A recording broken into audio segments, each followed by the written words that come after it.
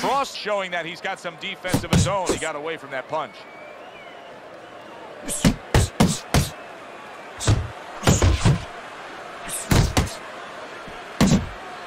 You can tell he's just looking to survive. Isaac Frost holding his opponent right now, just hugging him. Yeah, he's doing what he has to do. Look, they work on this in the gym, Joe. We look at all the things where you work on the pads, you work on the heavy bag, put punches. Oh, and there you go. He's so used to giving out the power punches.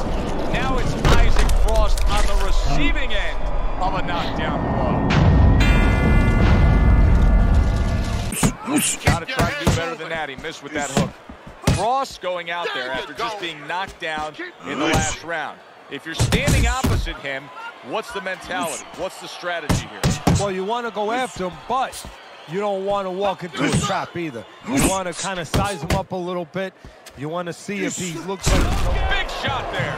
He was able to get up and continue on last time. Now he goes down again. Referee gives him the warning for the headbutt. Scored well upstairs. Tyson's not going to get away with I this here. you about that your head. but the referee is saying that was an intentional foul, and that's a point deduction. Effective work with that flush overhand right. Mike Tyson's going to get a point one point deduction here. Work with that flush overhand right. Mike Tyson's going to get a point one point deduction for here for that clash of heads. The One referee now feels that it's purposeful what he's doing, and he's deducting a point. There's the combo to the body. Still plenty of time to work here in round number five. Minute and a half to go. And now he scores well with a straight right.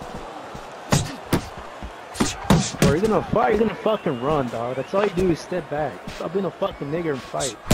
Tyson's is doing very nicely on the outside here in this fight. Work the body. What a great job. He gave one right back in return.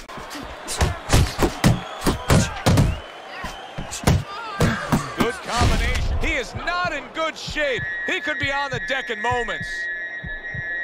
Keep moving, keep moving.